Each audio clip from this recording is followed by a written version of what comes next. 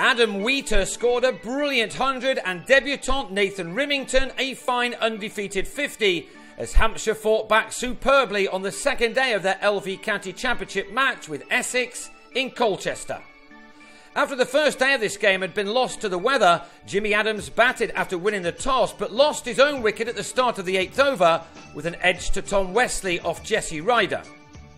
Michael Carberry produced the longest duck of this season of 32 balls. With a total on 14 in the ninth over, he was adjudged to have nicked Graham Napier behind. Ryder was surprisingly given the new ball and he did a good job with it too, bagging the wicket of James Vince, who certainly nicked this ball to James Foster.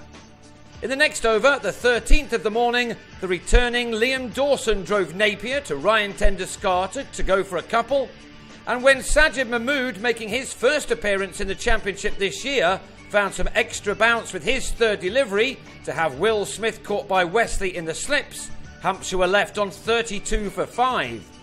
It was really tough going for the visiting batsman, although Wheater excelled against his former county.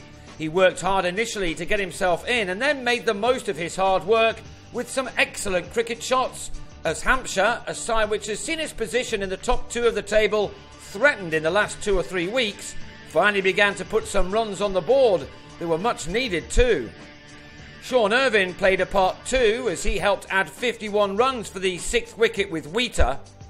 But with the score on 83, the Zimbabwean chipped Tim Phillips to Greg Smith in the deep to go for 20. Foster showed some wonderful captaincy touches Westley was the eighth bowler to be used in the morning session, and he struck in his second over. Matt Coles getting a leading edge off him to offer Monty Panesar a good running catch.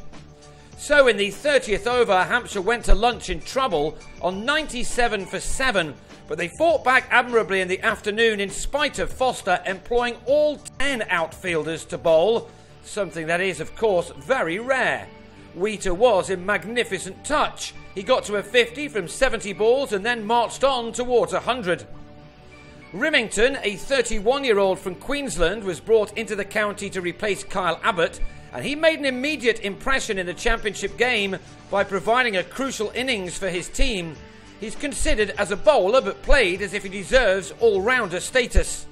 He was still there when Wheater completed his first ton of the season one which was made off 134 balls with a delicious straight drive off Ryder, taking him to three figures with his 11th four. It was the innings which had completely changed the complexion of this match. He was out for 107 after adding 115 runs with Rimmington, who made 65 not out on debut. His 50 came off 113 balls, that being his seventh four.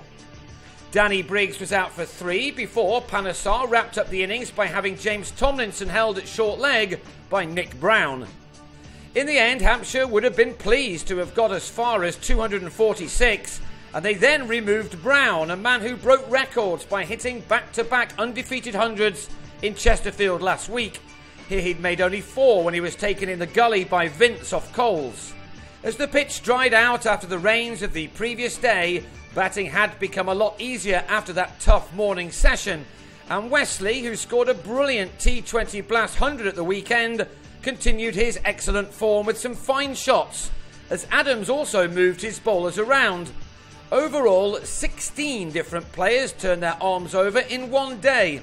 None of these six used by Hampshire could upset Westley's rhythm, though. Rimmington proved to be less of a threat with the ball in his hands rather than a bat, and that allowed Ravi Bopara to get his innings moving in the right direction.